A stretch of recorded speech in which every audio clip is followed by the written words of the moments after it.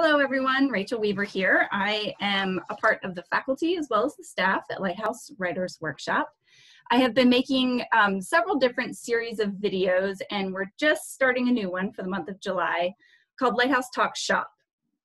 And this month we um, asked all of you, uh, members of our Lighthouse community, to submit questions that you have for agents. Um, and then I will be um, meeting with a couple different agents throughout the month to pose those questions um, that you guys all ask through our socials. So um, today we have Sonali Chanchani with us from Folio Literary Management. Thanks for being here. I really appreciate it. Yeah, of course. Thank you for having me. So Sonali has been with Folio for about five years. She represents fiction as well as nonfiction. So I'm just going to jump right in and ask you some of these questions. So yeah, the first one, I'm sure you get this a lot. Um, what are some of the biggest mistakes that you see in query letters? Yeah, um, so I think some of the obvious ones that you might guess are um, misspelling my name or the name of the agency or just kind of doing a general dear agent in which it's pretty clear that you might have copy and pasted your query letter, which we know you're doing, but it's it's nice to know that you've you know um, done a bit of research and have a personal reason for reaching out to us. Um, there's also uh, queries that I receive which are not in genres that I represent, so picture books or young adult or things like that. Um, so again, just really goes to the idea of doing your research. Um, but I would also say the the less obvious um, things, and I wouldn't necessarily call these mistakes, but um, it it like most often the reason I'll pass on a query is just because it seems like a writer is reaching out to me too early before their manuscript is really ready. Um, and a couple of ways that I can get a sense of that from the query letter are first um, through the description of the project. So sometimes that description will be, um, you know, really long and rambling. It's not quite clear what the sort of overall thread or arc is, or it might just feel, you know, very short and kind of general, like, you know, this, this is a book about a girl who falls in love, in which case it, it, both of those are kind of signs of different things, but in some way, either that the manuscript, you don't quite have control over it yet, you don't quite know what the story is, um, or that, you know, it, it doesn't feel kind of special or specific enough. Maybe you need to drill down a little bit more deeply into the characters or the story. Um, and then the other sign is in the sample pages. Um, a lot of times the story will begin with exposition, um, you know, details about kind of where we are and what's happening, but it, it doesn't really feel like it's actually like the story is actually started or gotten underway yet. I don't really know who the character is or what they want. Um, but you know, I might have a really great description of their backyard setting me up. Um, so those are, yeah, those are probably the biggest things that I look for. And then um, a follow-up question to that is, um, is an initial pass from you always a hard no? Um, so meaning if I send you my book and you can kind of sense that it's not ready yet or it's not, you know, it needs more work, then if I go back and work with a professional editor and really develop the story, can I send it to you again? Or should we assume that that an initial pass is a is a sort of a hard no? Yeah, um, it's tricky, and I would say in general, I try not to be a monster and be open to revisions, especially if it's clear that you've you know put the hard work into it.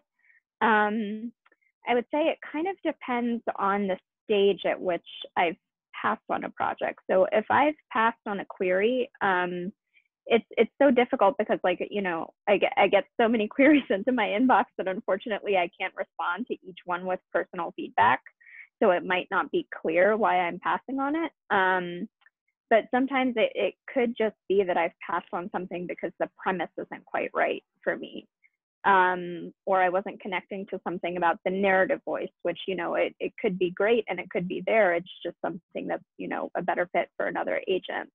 Um, I would say if I request material, then I try to be pretty clear when I respond to it. If, you know, if I think I have a clear vision for the project and, and for how it could be revised, I'll try to offer some feedback and say, you know, if, if you undertake a substantial revision, like I'd be very happy to take a look at another one.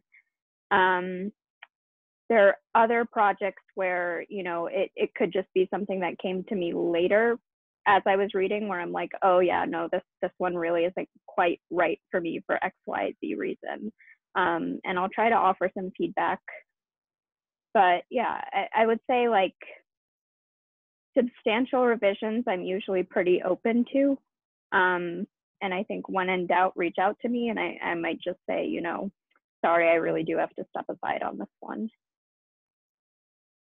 Um, but yeah, I, I it's just tricky because it's you know a balance of like wanting to to um, have the time to you know read through kind of the new material and the new voices that keep coming into my inbox and not to sort of you know engage with something that I really just don't feel is is quite right for me. Um, let's see. Um, this one is in a different vein. Um, this Lighthouse member is wondering if you've ever worked with a sensitivity reader. Um, in your opinion, are sensitivity readers becoming more sought after in the publishing world? Yeah, um, so I personally have not worked with a sensitivity reader, but I know um, a couple of my colleagues have, and also some of my authors have just solicited um, a sensitivity reader on their own. I think you know, from my experience and understanding, I think they're most common in the young adult space, but they're becoming more and more, um, you know, there's a there's a growing awareness of them and, and the value that they provide in the adult fiction space as well. Um, and I personally think that they can be really great. Um, and if you are thinking about a sensitivity reader in kind of whatever space you're writing in, I, I think it can be pretty worthwhile. Um, just because you know there are so many communities that have such limited representation in in kind of books and in publishing that I think if their stories are told in a way that is inaccurate or inauthentic, it, it can be, you know, it can do real harm in sort of perpetuating false stereotypes of, about that community. So I think if you're going to kind of write, you know, um, outside of your experience. I think one, you should have a really good reason for doing it. A, a lot of times the answer is sometimes a just cause, which I don't think quite cuts it. Um, and two, you should really kind of put the work into doing, you know, the research to make the story right, um, that you get the story right. And and I think, you know, part of that is is employing a sensitivity reader and sort of you know he- hearing their take and i think they can from what i've heard from colleagues and, and clients they can provide really valuable insights. Um, just kind of you know flagging blind spots like things that you might not even have thought of or considered and just like i think in the same way of any edits like whenever you get an outside read it's like oh that's not what i was trying to do. Yeah. Um, okay so our last question. This has to do sort of with the state of the world. Um, this um, lighthouse member is oh, God. this lighthouse member is wondering. Um, do you think are there any sorts of signs um, as an agent that you've seen um, as far as how things are changing in the publishing industry because of the pandemic? Is there any sign that anybody or that you know we're all reading more? Um, or I, I think just the general question of what changes have you seen in the last couple months, if any at all? Yeah, um, I don't know. It's it's tricky. Like this is definitely something that we ourselves, like you know, at the agency, are talking about all the time. Like, are people still reading? What are they reading? Should I, you know, be going out with my pandemic book? Should I not be going out with my pandemic book? Um, I I think you know our kind of general consensus is that people are still reading. Um, it, I think their taste might have changed slightly. Um, it's you know hard to say definitively, but like definitely you're hearing of you know people going for more classics or like the books that were on their kind of you know bucket lists of things to read. Um, I think some of the political nonfiction that was doing really well before the pandemic hit, um, you know, has has appetite for that has waned a little bit. Um, it, it it kind of just feels like, in some ways, just sort of like publishing can be a very cyclical business. So you'll go through trends where people are reading, you know, a lot of thrillers, or for a while it was, you know, all the vampire romances or things like that. And then they sort of fade out, um, or the dystopian stories, and then they kind of fade out for a few years and come back in. So I think the pandemic in some ways is just kind of, you know, uh, perhaps a less gradual change in the cycle of what people are reading. It, from what we've kind of talked about here, it definitely feels like, you know, lighter, more escapist, but for different people, escapist means different things. It could be a really light romance. It could be, you know, some kind of psychological thriller.